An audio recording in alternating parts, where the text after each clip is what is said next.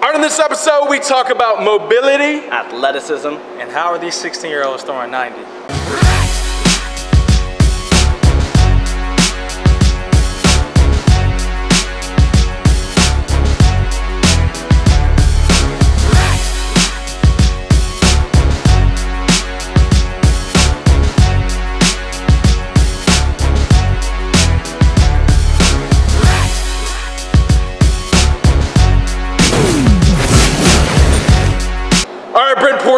Stephen Godani, Tim Smith Jr. here at the at Top Velocity, hashtag Pitch Tip Show, Twitter, Facebook, Instagram, Snapchat, at Top Velocity, hashtag Pitch Tips, hashtag Baseball Tips, hashtag question answers on the show. Snapchat still blowing up. Um, you know, the summer, midsummer here, sweating our booty off, working hard. Uh, it's been pretty hot, but it's been pretty awesome. A lot of big camps. Unfortunately, we're about to make a move. Yeah, we're gonna move the facility to a new location. It's gonna be cool, a little, bit- little bit more of a laboratory than a, just a gigantic facility, even though we've got uh, kind of two buildings that we're separating the two, but there's gonna be a move going on. So it'll be pretty cool. The scenery's gonna change, gonna be new things to see, it's gonna be more fun. So get ready for that. And if you haven't started booking your 2X, 3X camps, those are almost sold out for the summer. So hurry up and book that. And uh, look forward to having you down. And uh, let's get started. What's our question for today?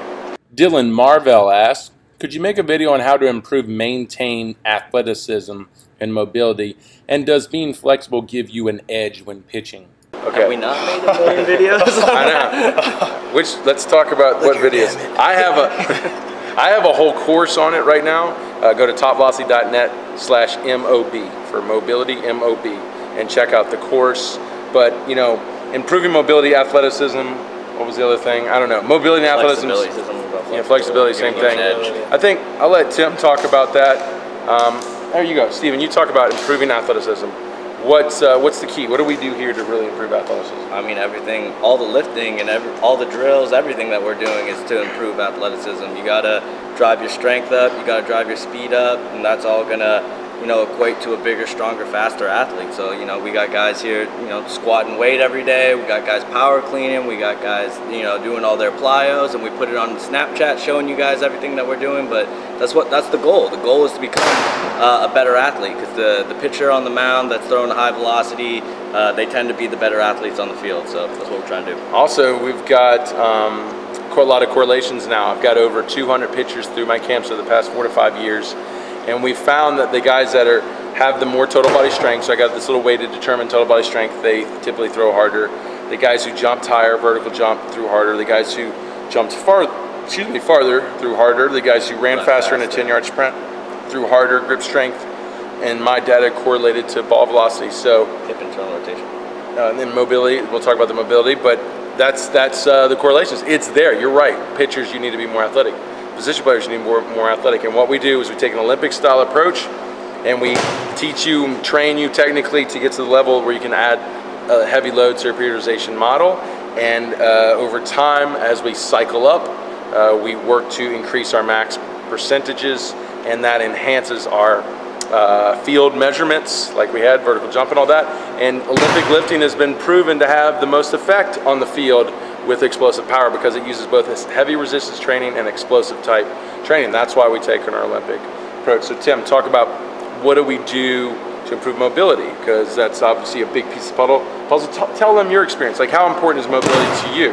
I mean, giving this same speech, I feel like a pastor, you know, giving the same mobility sermon. And I mean, it, it's like it's so important because that's my biggest issue is I have, I'm just tight and I have all these kinks in the kinetic chain with my hips. And I mean, I've literally just been working on mobility, you know, most of the time I've been here and I've only been here for about four or five days. And you know, we were just going over drill today and, you know, I'm literally trying to tell my body to do something, but just the mobility and, you know, the, the flexibility is just not there for me to do that. So, you know, in order to get better, I mean, I just have to keep working at it. So doing my stretches, my, my mobility work, and just, you know, stressing and stressing mobility. And it's huge when you're a pitcher because everything is built from the ground up. And so if you have, you know, a kink in the ankles or somewhere in the triple extension or wherever it is, I mean, you know, you're going to run into some problems for sure, and you'll hit a, a, a- a freaking uh, plateau quick if the mobility's not there, because you can be the strongest guy in the world, and if you don't have the athleticism and the mobility for it, then Yeah, for example, so, so Tim can jump almost 30 inches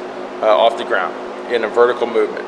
Uh, even in a linear movement, he can jump about nine feet. Yeah, about nine two. But when we go in a lateral movement, Now you got nine footer. but when we go in a lateral movement and he and he tries to jump laterally, where he has to get his his legs abducted and his force vector linear, he can jump probably three inches. Yeah. Like literally, he can't Literally. jump.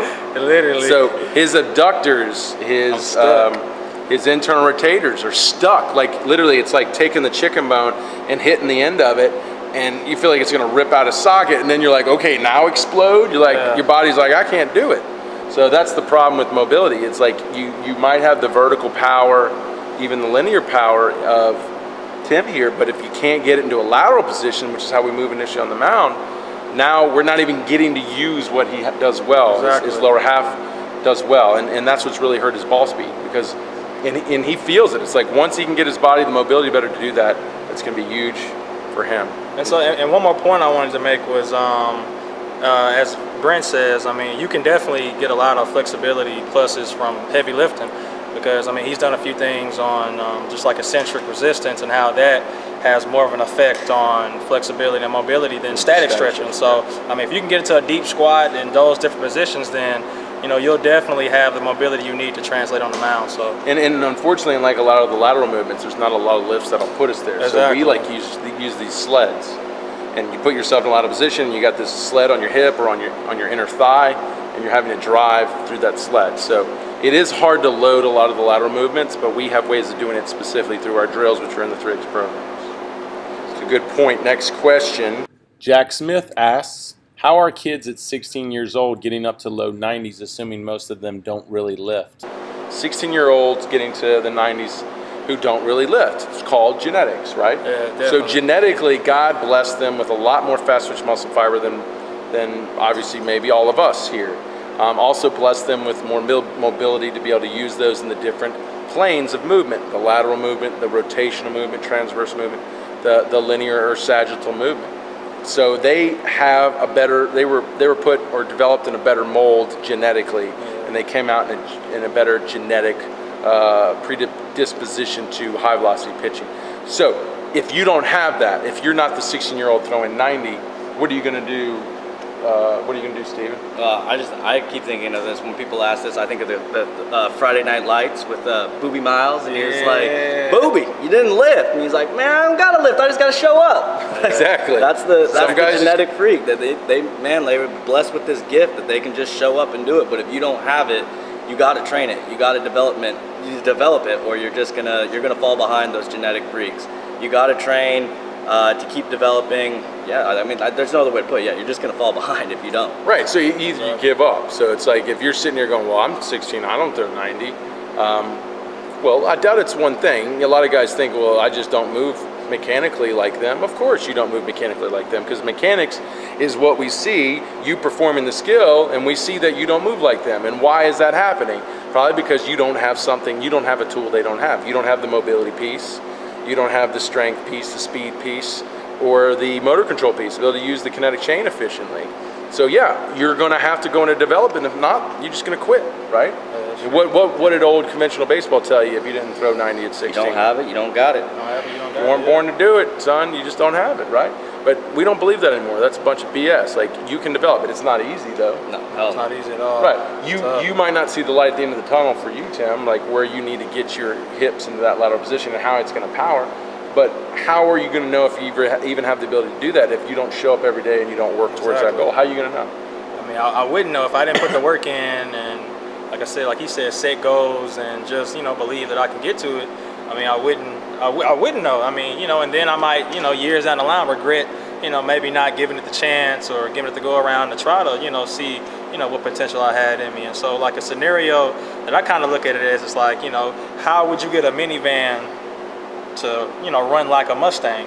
You know, you're gonna have to take stuff out, put some new parts in, and there you go. Now it has horsepower like a Mustang. It runs like a Mustang, sounds like a Mustang. But the only way you can get that trans, uh, you know, relation to that is by taking stuff out and adding new things. And so it's the same thing with if you don't have it now, it can definitely be worked on, and you can definitely build up to that if you just have the dedication and uh, I think that's a good analogy. to frame It is. to it. So I like that analogy. That's a really good analogy. So I think he's making the case.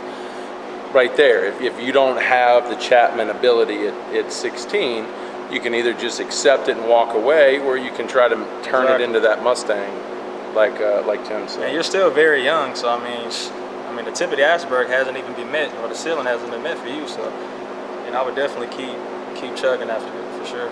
Yeah, and so you know, don't give up. You know, that's that's the whole point here. Don't give up. There's Exactly. there's a, there's an answer. There's a roadmap. 3x pitching, we give you a roadmap. We, we basically tell you you don't have to give up, guys. You just have to be willing to work. All right, good question. Uh, if you have another question, Twitter, Facebook, Instagram, Snapchat. Snapchat's been big. TopVelocity.net or top Snap. Top Velocity on Snap. And uh, come down to 2x, 3x camps. Come and train with us.